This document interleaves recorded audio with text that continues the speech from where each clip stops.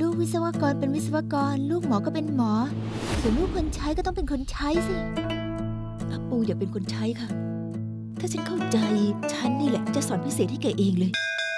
ฉันดาสาหาย เออลูกคุณอยากเรียนเหรอครับ เธออยากสมัครเรียนค่ะ ที่ที่ไหน